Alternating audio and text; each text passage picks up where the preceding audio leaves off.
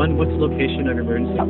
Pier 14 next to Embarcadero Ferry Building. There's a lady that collapsed. We need medical and police assistance immediately.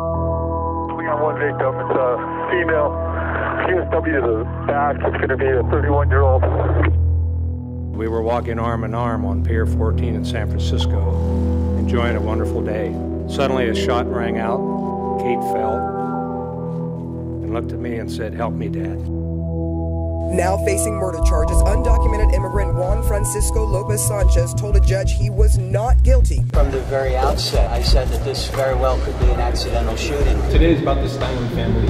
We're going to do everything we can to bring this family justice.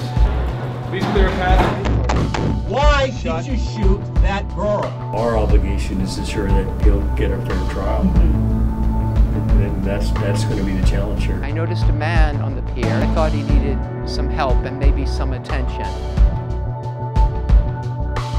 It was a random encounter, but the details have sparked a political firestorm. Kate Steinle, gunned down in the sanctuary city of San Francisco.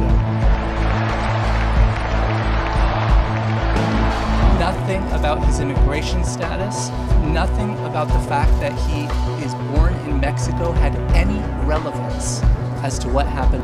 I don't think I've ever been in a courtroom with that high stakes where so much national attention was focused on it. The case has sparked a national debate over immigration and sanctuary cities. Bill Kate's wall!